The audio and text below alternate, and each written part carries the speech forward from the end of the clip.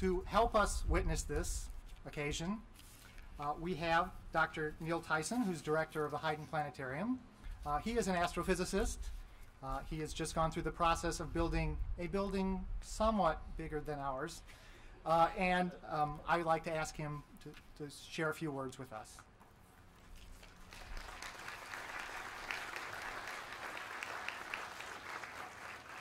The presence of science in the media seems to be growing.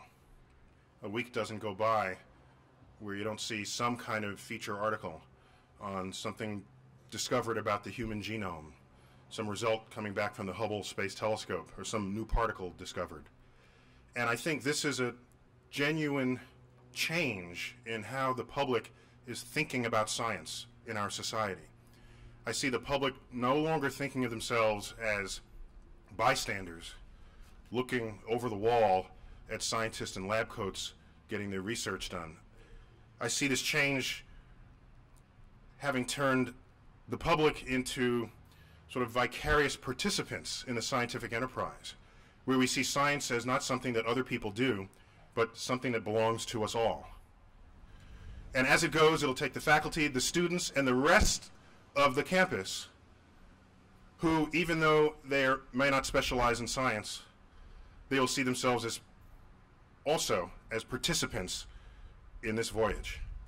And it's the most beautiful voyage there is, the voyage to discover the secrets of the universe. I want to congratulate Guilford College uh, and publicly recognize the role of philanthropy in moving forward this nation, our brain trust invested in the next generation of those who will lead us.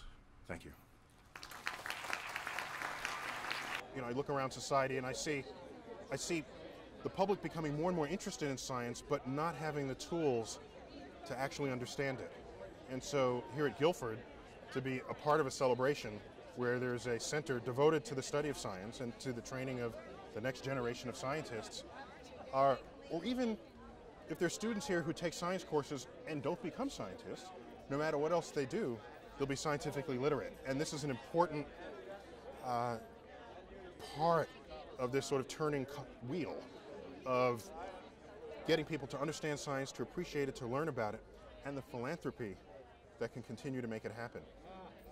It's interesting because often people think of buildings only as a place where things happen, but buildings have a deeper significance to that. They can almost take on a mythical meaning unto themselves. For example, if you're a new student and you walk onto this campus, you will see that there's this place where science happens. It says science on the side of the building. So your, your mindset, your landscape of expectations becomes shaped by the fact that there's a place where science happens. A whole floor of biology, a floor of physics, a floor of geology. And that as a reminder, I think is important because you are told passive, you're passively told, just by walking past the building, that science happens here, and that science is valued here, that science education matters in modern society. It matters at Guilford. I think the solution is not that you go around beating people over the head saying, oh no, this is, has no foundation. The solution is you go earlier in the educational track and you teach people how to think. You teach people how to evaluate evidence. You teach people how to receive information and process it in their mind. And in that way, they're armed to handle the charlatan that approaches them.